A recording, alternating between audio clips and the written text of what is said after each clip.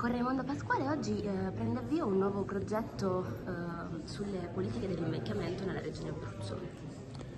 Il progetto è l'incontro di oggi e si svolge all'interno di una serie di iniziative a livello nazionale dove in tutte le regioni si è aperto un confronto per fare il punto sul tema invecchiamento attivo.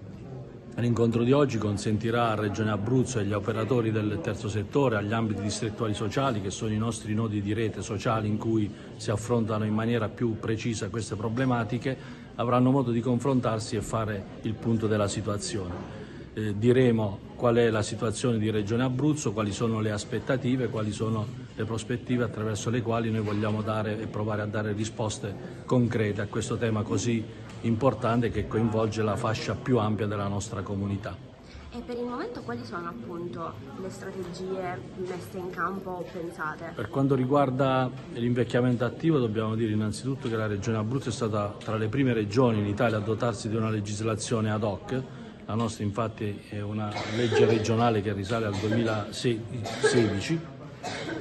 e all'interno di questa normativa noi andiamo a prevedere tutta una serie di iniziative che sui territori vengono poste in campo dagli ambiti distrettuali sociali e che il nuovo piano sociale regionale prevede tutta una serie di iniziative in cui la parte più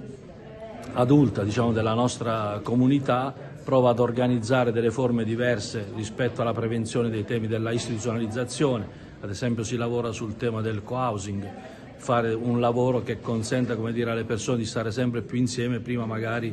di raggiungere quella fase in cui è necessario l'intervento di una struttura residenziale, così come si potrebbe eh, e si possono mettere in campo progetti in cui le persone eh, con, di, di, di un'età avanzata o gli cosiddetti over 65 si mettono a loro volta a disposizione della comunità per svolgere una serie di servizi sociali che possono andare a vantaggio della collettività più vasta. Il progetto sulle politiche dell'invecchiamento attivo per la Regione Abruzzo è coordinato dal Ministero. E di cosa eh, tratta andando eh, proprio nello allora, specifico? Questo, questa, eh, la giornata di oggi rappresenta una tappa del progetto multilivello partecipato delle politiche dell'investimento attivo, finanziato dal Dipartimento per le politiche della famiglia della Presidenza del Consiglio dei Ministri e, mm, in collaborazione con INRCA, che rappresento qui oggi, e INAP, l'Istituto Nazionale per l'Analisi Politiche Pubbliche.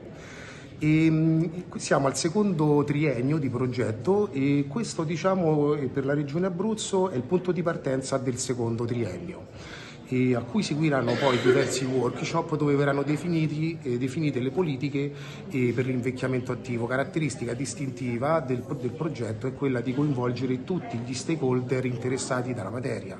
quindi organizzazioni sindacali, organizzazioni per i circoli degli anziani, eh, piuttosto che organizzazioni sanitarie.